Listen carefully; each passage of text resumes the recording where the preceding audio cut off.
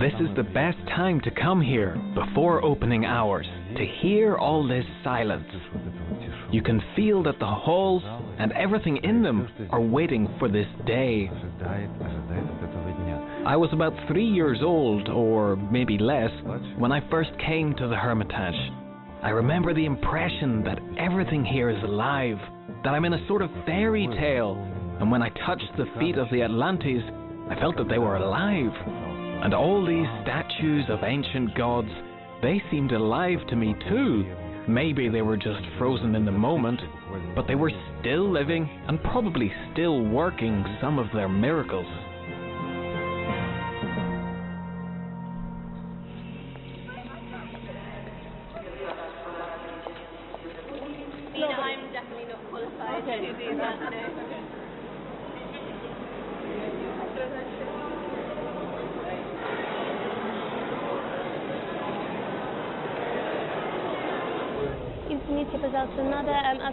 оставь верхние одежды в гардеробе.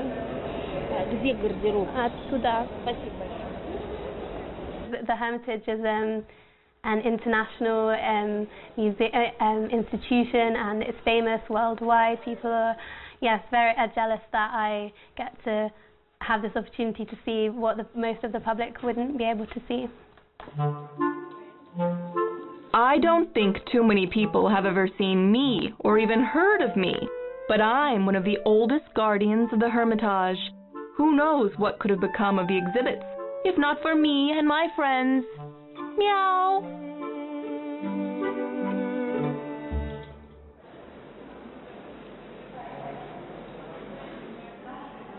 Iona Ballantyne is never late for work. But she isn't an employee here at the Hermitage or a guide. Iona is a volunteer from England. When we stand in the entrance, we have to tell people when they're passing through to the um, turnstiles, we have to tell them to take off their outdoor clothing, like their coats and jackets, and put them in the cloakroom, and um, just answer any general questions that they may have about um, the museum, about where to find maps or guides um, or um, excursions. In London, Iona studies Russian culture. A friend from Russia recommended that she work at the Hermitage in St. Petersburg as an intern. А вы не подскажете, где искусство 20 века? Искусство два- 20 века. Это на, на третьем эта- этаже у нас несколько залов. Да, эм, надо да, под- найти эм, лестницу в, в- на втором этаже. А вы нас потом. могли бы сопроводить? Да. Да, я могу, я могу. Откуда вы? Мы из Питера, Петербурга. А, хорошо.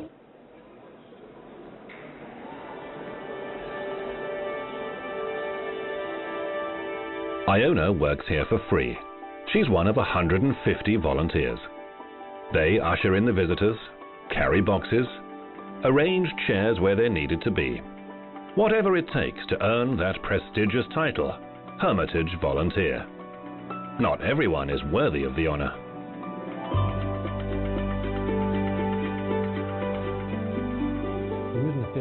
About five hours is what we expect from people if they really want to become fully fledged volunteers. Then we'll have a museum pass made for them. Five hours a week is the minimum that's required. If newcomer Oksana can find enough free time, and she passes her probation period, she will also become a volunteer at Russia's Grand Museum. You will be taking part in one of our grand events, the Hermitage Cat Day. Instead of an interview, I was taken by the hand and led to the basement where we're hanging pictures. I've absolutely no idea what we're doing or what it is for, but I see that's all about the cats. Day of Cats in the Hermitage, which is um, happens every year.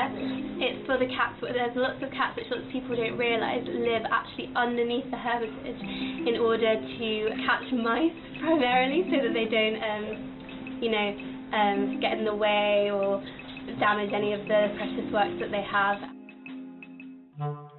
She's right. No enemies down here.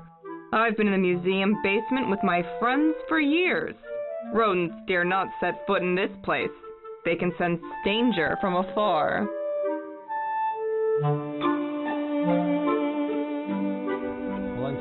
Volunteers? Could you help? Felicitas, Felicitas, I think we need to fix this here. надо повесить, наверное, вот сюда. Окей? You don't need scissors, А не нужно. I'll show you. okay? Вот Оксана. So, Oksana, this is how we put our volunteers to work. Whether or not Oksana becomes a volunteer will be Mikhail's decision. He too came to the Hermitage one day to offer his own help. St. Petersburg's 300th anniversary was approaching, and I didn't want to be just an onlooker. In 2002, I came to the Hermitage and offered to organize a group of state Hermitage volunteers. Our task was to find 150 people and select the most active ones who would be able to act in any unexpected situation. You have to remember that on the night of May 27th, when the Hermitage was open all night, it had the highest number of visitors. There were many, many pregnant ladies, because a lot of them hoped to have their child on this very day, because there were special prizes offered, like apartments for babies who were born on St. Petersburg's anniversary. Indeed, a few women did deliver their babies right here in the Hermitage. So the volunteers had to be ready to do whatever was needed, to react quickly and keep smiling, while helping us to resolve all possible situations. At first, the volunteers were not well received at the museum. Hermitage veterans thought that the new generation wanted to take away their jobs. After only a few years, the staff members became more friendly. Good morning. How are you? Good, thank you. Fine. I'm waiting you for a job, but first of all, please uh, write your names in uh, journal because we are in uh, storage. It's very important. What is your name? And Francis. Very nice. And Daria Hook. I will tell you a little bit about the dendrochronology. Dendrochronology is about comparing the annual rings in trees. Studying them can reveal a lot of information about the state of the environment the tree grew in and its age. Volunteers Francis and Felicitas have to work out how old these samples are. It's a little bit weird to have this old piece in your hand because it's still wet and uh, I don't know, it feels like you just put it out of the water and um, you can't really realize that it's so old. It just feels like a normal piece of wood. But I feel really a little bit, um, it's a little bit scary because I don't want to do it wrong and I don't want to destroy it. It's very difficult to um, cut with this razor because the surface won't um, show any rings um, and it's it's easier or it's not easier but it's more useful to do it with this small razor um, so you will uh, find find that the rings will show underneath what you cut. Recently, volunteers have begun taking photographs. They also write descriptions of and measure ancient Greek sarcophagi found on the northern Black Sea coast. They've measured the whole sarcophagus as well as every tiny detail. You can see that the sarcophagi have so many decorative elements on them. Every single decoration needed to be measured and photographed. But what's most important is that each of the names of our volunteers will be mentioned in the academic prospectuses. They'll feature dozens of names of people who worked on the team here for over a year. All of them were really immersed in this fascinating process. Oksana is going through her own probation period. She'll have to go through all this herself if she succeeds. Her assignment is to help organize a game for the grand event, Cats Day, at the Hermitage.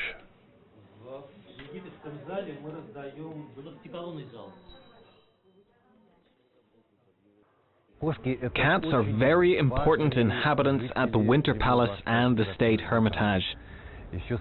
They've lived in the old Winter Palace since the times of Peter the Great when he brought the first cats from Holland. Later, his daughter Elizabeth issued a special decree for cats to be bred in what is now modern day Tatarstan. Fifty cats were then brought from Kazan. Since the 1740s, those cats' descendants have lived in the Winter Palace, They've been provided with food in return for keeping the exhibits safe.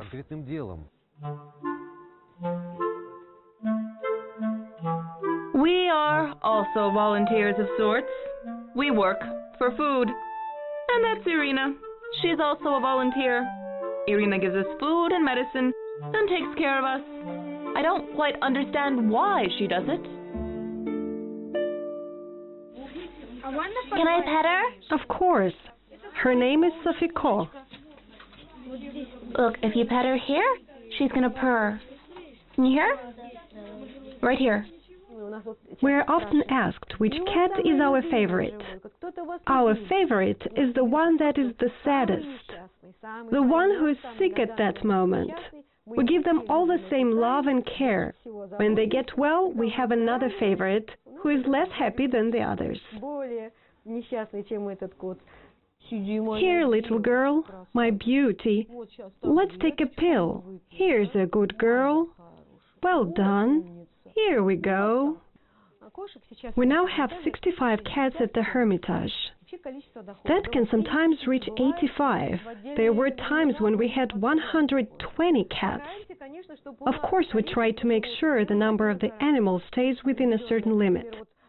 70 is the maximum we can afford. If there's more, there'll be trouble. Cats are selfish. They like their own territory. And we don't have mice at all.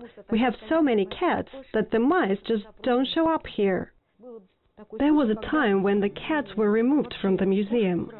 I don't know what happened, but in a month we lost half the library because rats ate everything. They don't care much for the value of an exhibit. Even if it's a million dollars, they'll still finish it off. I know, I have a cat at home, and I'm starting to look a bit like a cat.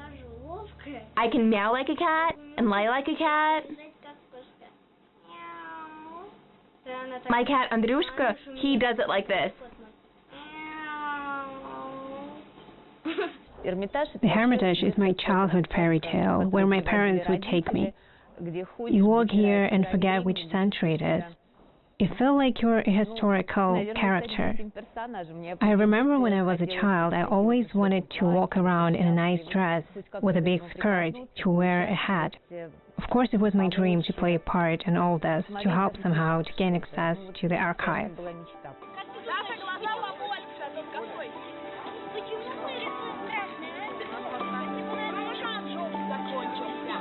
This is a very important event, both for visitors and volunteers. We've been preparing for it all year. It's an incredibly exciting celebration for the kids.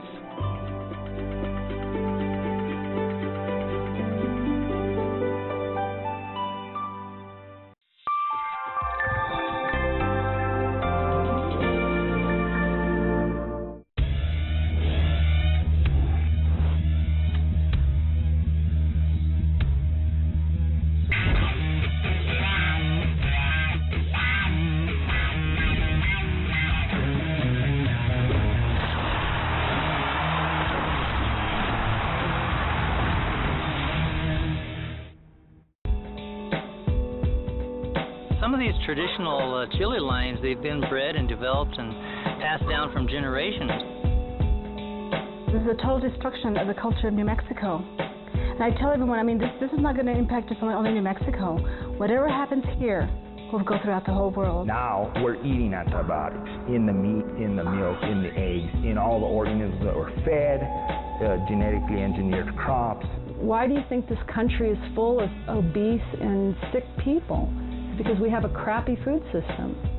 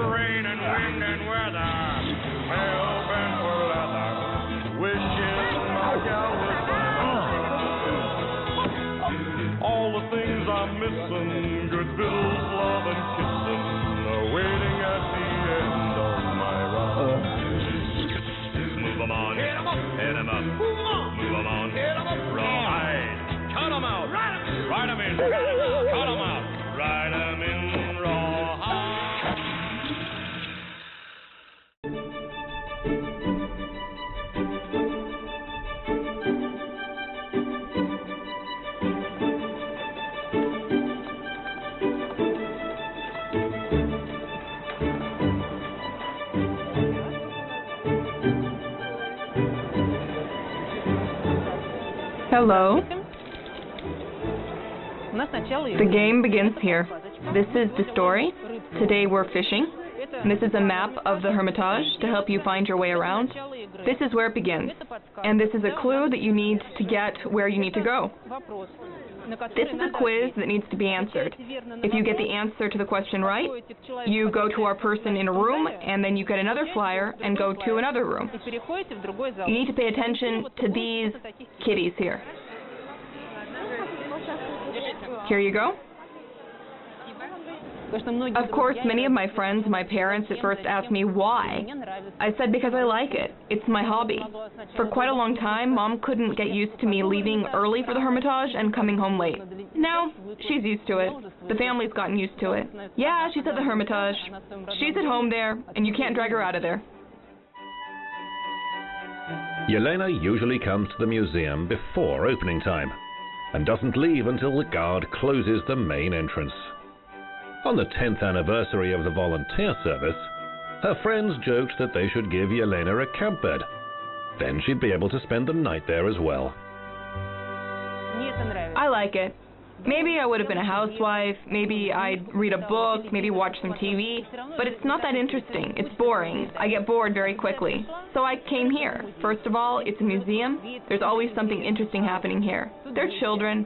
Today is the Hermitage Cat Day, and the day involves a game. We catch big fish and small fish. The challenge is to find stories devoted to cats and fish. We've set up a few checkpoints in the Hermitage with volunteers posted at them, and that's where you see the guys. All of them taking part in the quest. They find the right picture, the right story or piece of art, answer the question, and then move along the route. You found a fish. You found one. So go on, read that question, sea life. Two large fish glittering with scales, it sits on a low table. The third one at the feet of the boy, who is holding a bowl of succulent fruit, and a basket of greens. The boy represents one of the summer months. Well done. Next question. Next question. Your answers? Well done. I really like the way children solve puzzles. I love helping them. They're having fun. You guessed? Well done. That's very, very funny. Uh, yeah, I'm interested in the game and I'm it seems like a great game. It's really getting children involved because they have to identify um, artifacts, ancient Egyptian artifacts, um, and they're all getting excited and jumping up and down. And I think, yeah, I'm finding it interesting as well to give them advice and tips and things.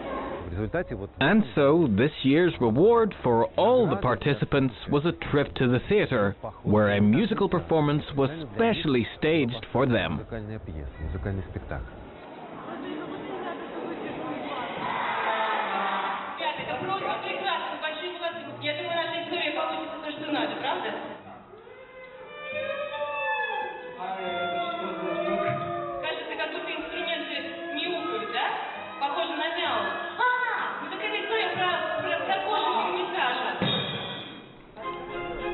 A few years ago, a Portuguese writer worked with the children here in the same way. He had decided to write a book about Russia and came to work at the Hermitage. Back then, volunteers were often bankers who'd gone bust in the crisis, or the children of people who worked in world famous museums, like Paul Laurent, whose father is the Louvre's director. He didn't mention who he was or where he was from.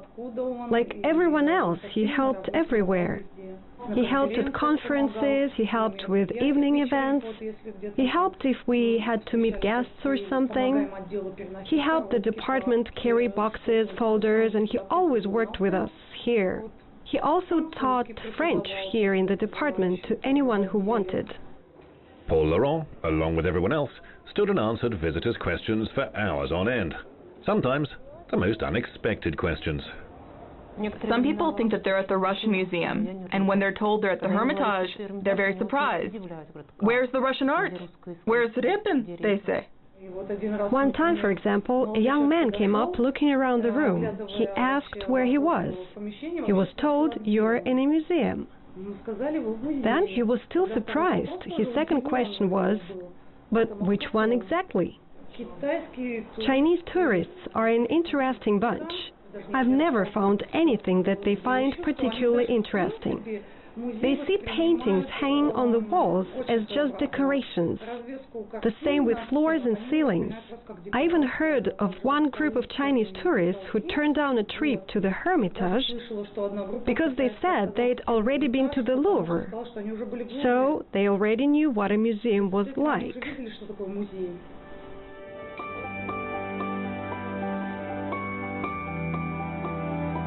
In America, everyone always talks about the Hermitage, um, the collection of old Renaissance art.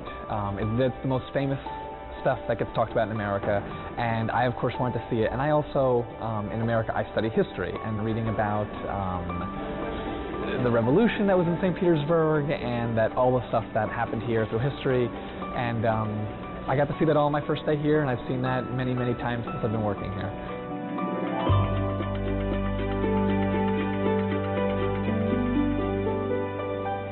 One of Raymond's dreams is to join an expedition with archaeologists from the Hermitage. Over the summer, museum staff conduct excavations in Russia's regions and invite everyone to take part. This is our expedition. We've been doing it for 50 years now.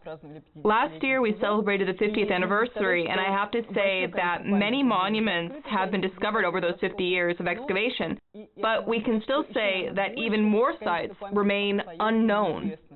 Usually in the archaeology department, I've done translating work about um, different um, archaeological excavations that people have done, that scientists, that researchers have done, and also I was doing some translating on Renaissance art. That's definitely been the most rewarding work because it's been interesting and it also helped me practice Russian. The archaeology department is, for many volunteers, one of the most interesting places in the museum. Here, you can literally touch history. I come here um, to draw these ancient objects which are from um, different things that they found and I need to document them in this way as a volunteer to help the archaeological department and you have to be very precise when doing these drawings. It's not like a normal um, drawing where you might miss out some things. Here you need to, every, every mark is important for their research. It's amazing to be in a, yes, to be behind the scenes at the Hermitage and to see um, the archaeological department see all of this research which goes on, which I would have no idea that there were so many shelves and shelves of all these different items, which I think most people wouldn't even yeah, know about what was going on behind the scenes. Hermitage staff sometimes thank the volunteers by giving them free tours. For example, a tour of a new storage facility in the old village region. A third of what was stored in the museum was once moved there, about a million items the largest being a tent given to Russia's Empress Catherine II by the Ottoman Emperor Sultan Selim III. There was a visit by the Turkish ambassador to St. Petersburg with diplomatic gifts, and one of those gifts is this tent. It's all around us.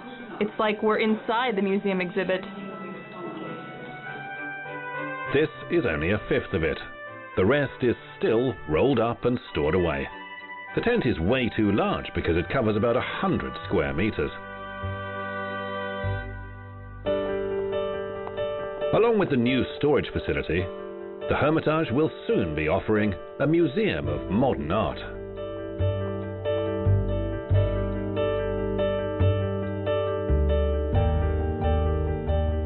This building is the left wing of the general headquarters built by Carlo Rossi in the early 19th century.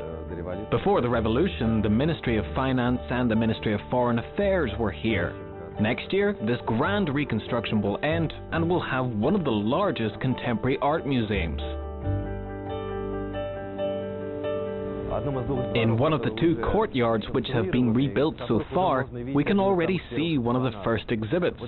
It's an installation created by the already famous Russian artists Ilya and Emilia Kabakov. They created this immediately after the collapse of the Soviet Union. And this installation, it, it represents the emergence and growth of the Soviet Union and its collapse. Actually, yes, this isn't just debris left behind, it's part of the installation. We lived through constant construction during communism, so therefore this part probably just represents the continuing construction. There are still many things they haven't seen at the Hermitage, but I think one day they'll catch up and join in other events. Maybe one day you'll pass something. You'll look and think, my God, I did that. I glued this pieces, for example, or painted over that crack over there. It's this involvement with everything that you pass by. You see it and realize that you have something to do with it as well. You're also part of history, you're part of the museum, part of those exhibits. Oksana is now a volunteer at the Hermitage, and Yelena its new employee. After six years of selfless support to the museum, she's been offered a job. But even so, Yelena still volunteers. At the end of her working day, she hurries to meet the visitors with a smile.